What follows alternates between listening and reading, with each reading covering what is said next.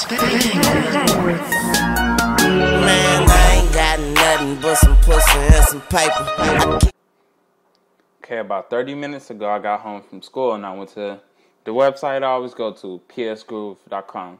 And I seen that Fuck PSN 0.6 had came out. And what this does, it is, it takes, it spoofs your console's ID. I was like, man, I really miss the PSN.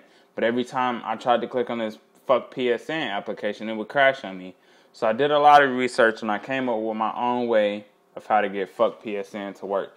And just to prove it's working, I'm gonna start it up. Okay, and usually by now it would have crashed. So I'm just gonna exit out of here. I got a video proving that it works with the PlayStation Network. I'm just gonna show you how to do it first. Okay? So we're gonna head over here to start. Once you're in the start, you're gonna click on your control panel. Now I'm sorry if this is blurry, I'm doing it from my iPhone. And we're gonna go up here. We're gonna type in Windows Firewall. And mine automatically pops up. You're gonna click on this advanced settings.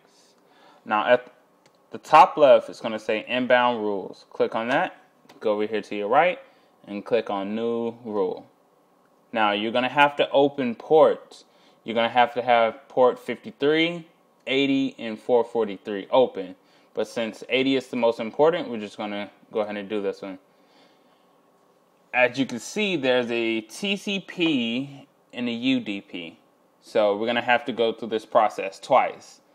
You're gonna choose the TCP for the first one, and after you save this, you're gonna come back and do the exact same thing, but make sure you click on the UDP tab.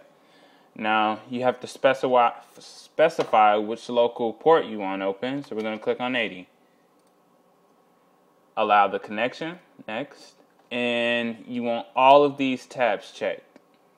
Next. And you're gonna name it fuck P sorry, I'm doing this one hand. Fuck PSN. And you're gonna click finish. Now I already have this, so I'm not gonna do it.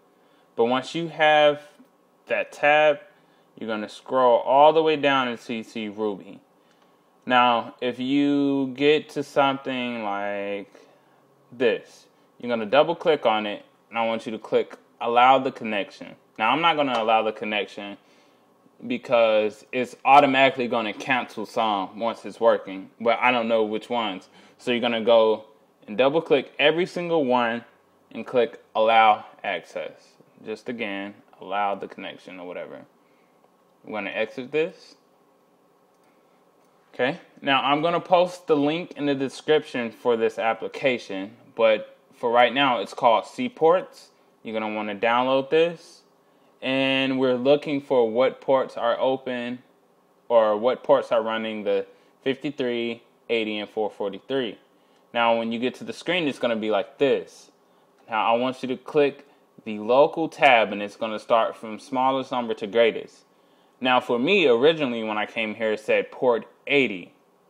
I didn't do anything because it said system. Now, if it says something like Skype right here, you're gonna right click and you're gonna kill process of selected port. So anything that doesn't say system that's running on either 53, 80, or 443, you're gonna wanna do that.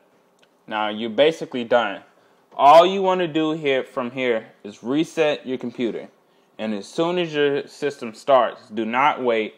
Rush over here, click on the tab, and you got it. Because what this is doing is it's putting the fuck PSN first above, above any other task, and from there it'll work always.